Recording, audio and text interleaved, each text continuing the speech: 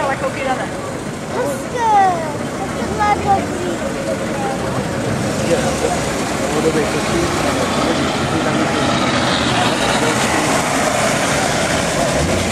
Tak vážení diváci, nastupuje nám kategorie těch nejstarších automobilů vyrobených před rokem 1920. A startovní číslo 71 na startovní pátce je pan Jiří Pešan Fordem typu T, vyrobeným v roce 1915.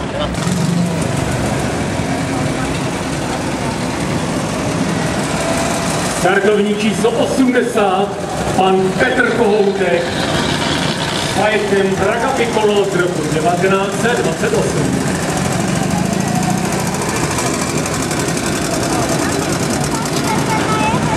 Startovní číslo 75,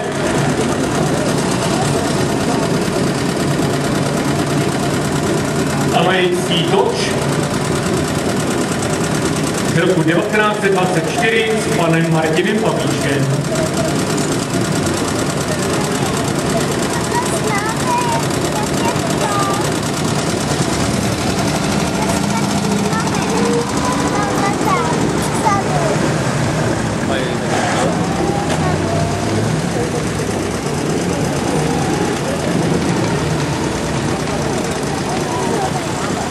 Takže vážení diváci, pod startovním číslem 201 bude startovat automobil Fiat 508 řízený panem maestrem Václavem Zapadlíkem. Já si myslím, že za krásné kresby a malby, obrazy, včetně posled, naposled vydaných poštovních známek, si váš potlesk určitě zaslouží.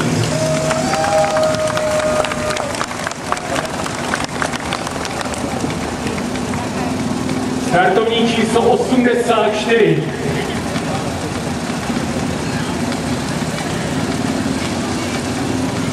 Francouzský sportovní vůz Sima pana inžíra Ivo Daňka byl vyroben v roce 1929.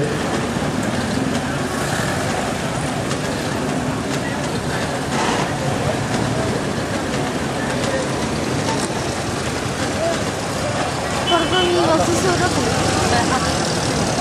Ale nejlepší jsou cestovní vozy. Startovní číslo 87, pan Miroslav Lorenz, vozem Praga Piccolo roku 1930. A